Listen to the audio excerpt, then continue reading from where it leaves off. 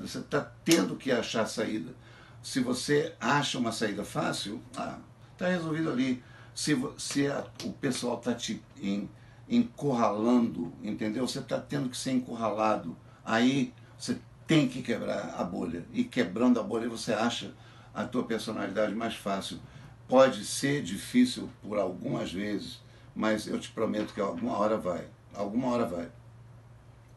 E, e é isso. Nesse momento você vai parar de perguntar como é que é que você acha as tuas cores, a tua estética, porque nessa hora você acha a tua estética, entende?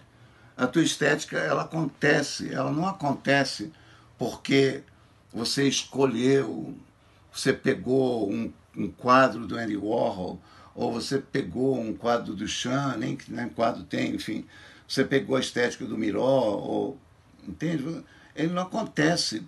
Você pode até se apaixonar por Rembrandt, você pode, pode ter apaixonado por todos eles, mas você não copia ninguém. Você tem uma visão, e essa visão acontece porque você acordou para a vida. E esse acordar para a vida vem num relâmpago. E esse relâmpago é uma coisa que acontece uma única vez na vida.